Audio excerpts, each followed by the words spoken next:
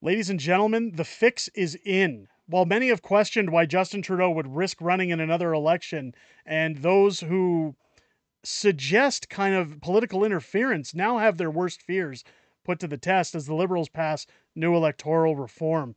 Let's get into it.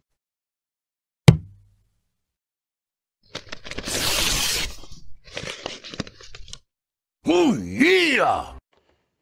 What's going on, ladies and gentlemen? Welcome back to The Fringe. We've talked a significant amount on this channel about Justin Trudeau's uh, weird behavior when it comes to the hubris that he has to think that he stands a snowball's chance in hell of running to be the next or to continue being uh, the, the the next four year prime minister in Canada. However, a lot of people have said that when we look at what happened in the United States, when we look at Dominion voting systems, when we look at a number of different twisted policies that have been put forward, of course, we heard about a couple weeks ago about uh, the Liberals and the NDP moving to do electoral reform. Well, the fix is now in. What everyone once thought was scary has come to light. As I certainly have said a number of times on this channel, we all know that if Justin's sticking around, he's either really stupid or he has something very sneaky planned. And of course, uh, I think that uh, well, the, the the plans are here. As a uh, a viewer from the channel here, Chad B over on Twitter, um, over at uh, Nerts007, tagged me earlier saying the fix is in. Liberals ta- table sweeping elections law reforms, including expanding advance voting, targeting AI. I bet you all know what that means, but don't take my word for it. Let's take a look at how great the uh, prostitutes over at CTV are, are championing this move by the uh, by the liberals. The liberals table elections law reforms aimed at making it easier to vote, harder to meddle. Really? they want to put the words meddle in there early because let's be honest, folks, these guys are paid by Justin Trudeau. They want to make sure that uh, they know that this word is going to come up in the next federal election. They know this is going to be an issue. So already they're saying, oh, it's it's harder to meddle. It's harder to get involved. Now, of course, we've seen premiers like Danielle Smith already say that we're sticking to paper ballots. In Alberta, there will be no uh, mailed in ballots. There will be no shenanigans when it comes to things that we're going to do things the old fashioned way. It's the best way to, to, to make our elections more um, authentic, uh, validate them, validate the legitimacy. Let's get into what the prostitutes have to say. The federal Liberal government tabled electoral reform legislation Wednesday that seeks to alter the way voters cast their ballots in a series of ways while proposing measures to better protect the electoral province from foreign interference and disinformation. Now again, we've seen in the last federal election during the pandemic, China in fact interfered big time with our election and of course, they're going to do it again. Uh, presented in the House of Commons by Public Safety, Democratic Institutions, and Intergovernmental Affairs Minister Dominique LeBlanc, the sweeping new bill amends to the Canadian Elections Act, quote, to make it easier for Canadians to vote in a federal election and enhance trust in the Canadians' electoral process. Um, that's all lies. I mean, we all know. We all know it's lies. Um, when you look at where the conservatives are now polling, I believe they're currently at like 43%. Um, there's no reason they shouldn't get a majority. It's going to be interesting again with the meddling title. What happens? While not a full scale overhaul of the federal voting system, as Prime Minister Justin Trudeau once promised, when it comes to an electoral participation, Bill C 65 proposes to add two additional days of advance voting, giving Canadians a total of seven days to cast their ballot, improve the vote by mail special ballot process, including by allowing voters who registered for but did not use their special ballot to vote in person on election day with safeguards to prevent double voting. Uh, make 2015 pilot vote on campus program permanent. Offer dedicated on site voting for elections and long term care, including allowing staff to identify the best day and time for residents to vote. Give voters who require assistance, such as those with disabilities rendering them unable to mark their ballot, the choice of who may help them when voting and move the 2025 fixed October election date to the following Monday to not conflict with Diwali because we'd hate to we'd hate to um, have an election day on a holiday that isn't part of Canada's national heritage. Now, look, if you celebrate Diwali, I'm happy for you. I celebrate it, enjoy it, love it, but this is not a Canadian holiday, no matter how you sum it up. There's no reason you can't have a federal election on this day. If you feel differently, you're entitled to that just as I am with my opinion. I, I don't see why. This is just more virtue signaling as far as I'm personally concerned. Uh, but further, the government is promising to take steps towards allowing voting at any polling station in an elector's riding, as well as to further study the measures needed to allow an expanded three day voting period during general elections eventually. Now, the problem with that is that it's more organized when you must go to a specific polling site because they're able to get down to a fine needle point who from what residence voted.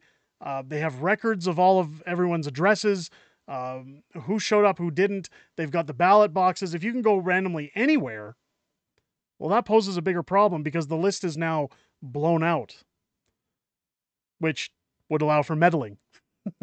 LeBlanc said Elections Canada raised concerns about fully enacting these two measures, included the Liberal NDP confidence and supply agreement. Right now, NDP leader Jagmeet Singh and the Prime Minister very much wanted to have a three day voting period of Saturday, Sunday, and Monday. LeBlanc said Elections Canada came to us with some thoughtful operational challenges, he said, citing concerns around finding suitable polling locations available over a weekend. As a result, election officials are being mandated to set out an exploratory process and come back to Parliament by 2027, so after the next federal election, with the aim of making further changes by 2029.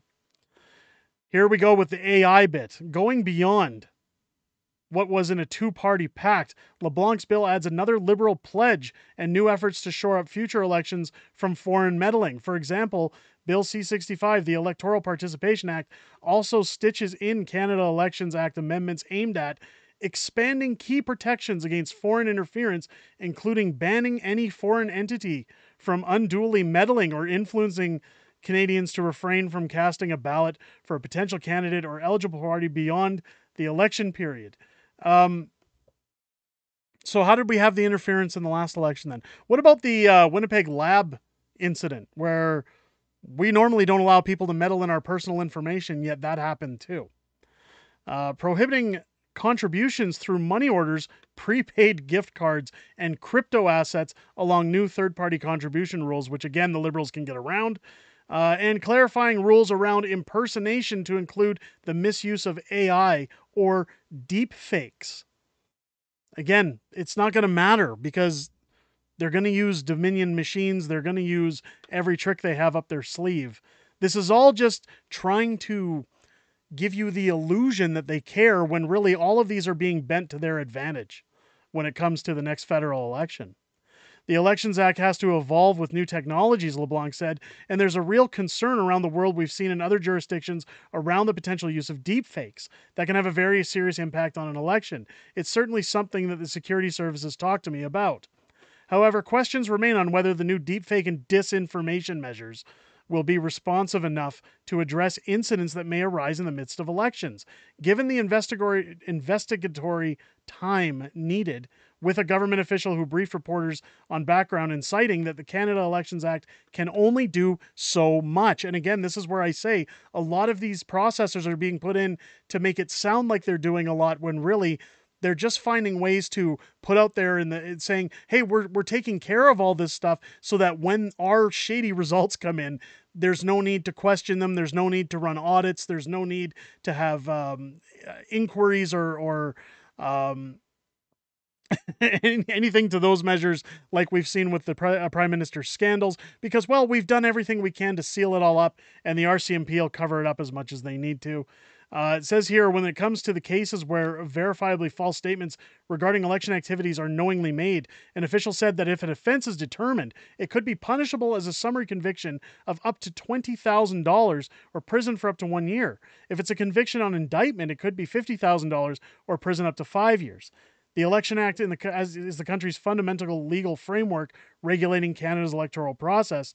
Uh, it is administered by Chief Electoral Officer and Elections Canada, while the compliance and enforcement elements are overseen by the Commissioner of Canada Elections. The government says that Wednesday's package of reforms are informed by recommendations from these individuals. Lessons learned from 2019 and 2021 federal elections, as well as the evolving global and domestic context. Well, it's funny that those lessons were learned from two of the elections Justin Trudeau ran and got min- minority governments in, isn't it? Another major addition to the bill is planned to impose new privacy policy requirements for federal political policies. Party privacy has for years been a preoccupation for politicos and information protection advocates who have warned Canada's regime is lagging behind. Under a past round of election law changes, the Liberal government made it so political parties had to post their privacy policies online, but stopped short of subjecting parties to tougher privacy rules and oversight of the data they harvest from the electorate, despite calls to do so. Again, this is how we end up with Chinese interference. Now, federal parties are expected to abide by new safeguards, such as using locked filing cabinets. Here we go limiting access to voter contact information, disclosure requirements in the event of a significant privacy breach, and tougher enforcement measures, including administrative monetary penalties. Then here it is the hope to pass in time for 2025. Of course they do because this is where it's going to benefit them the most. Reforms to the elections law can become contentious, and it remains to be seen how this expensive package goes over with other parties. Speaking to reporters Wednesday, LeBlanc and his NDP counterpart Daniel Blaikie indicated a desire to see these measures passed in time for them to come into effect for the next federal election, because again, they can't question or they, they can't have us questioning the shenanigans because they'll say all these safeguards are in place. Um, after leading negotiations for his party on this bill the NDP was pushing the Liberals to enact. Uh, Blaikie announced last month that he would vacate his seat on Parliament Hill as of March 31st. Uh, anyone who's worked on a campaign knows that there are often Canadians who are struggling to balance the obligations of work and family in a day, as well as going to the polling stations to be able to vote, he said. Uh, these election law altercations also come years after heightened attention around the integrity of Canada's electoral process and amid an ongoing national public inquiry into foreign interference in relation to the last two federal campaigns, which again they said that they um, they they're learning from their mistakes from those. I don't think so. I think that this is just the tip of the iceberg. I think things are going to get more insane. And again, while I still think the conservatives are simply polling too high as of right now for any kind of interference to not be questioned if it was done on a radical scale, um, I definitely think we'll see some form of shenanigans when it comes to the next federal election. Um, we're not out of the woods yet, ladies and gentlemen. Let me know what you guys think down below in the comments. Are they going to uh, are they going to mess around in the next election? Are we going to have a fair election? I already know what the answer is going to be, but let me know your thoughts down below, ladies and gentlemen. If is the first time here, I hope this video has earned your subscription.